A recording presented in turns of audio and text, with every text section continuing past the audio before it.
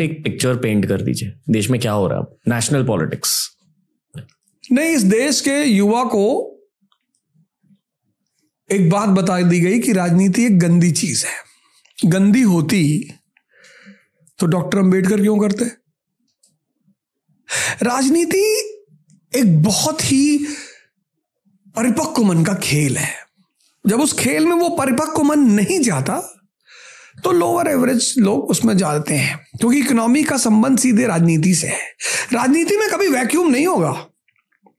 होगा ही नहीं, क्योंकि मेंबर ऑफ़ पार्लियामेंट के पास एक बजट है पैसे का।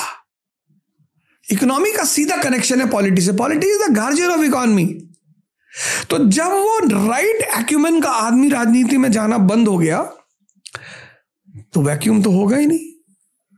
तो ठेकेदार जाने लगे कॉन्ट्रैक्टर अब कॉन्ट्रैक्टर जाएगा तो वो ईस्ट इंडिया कंपनी की तरह ही तो काम करेगा। हम्म।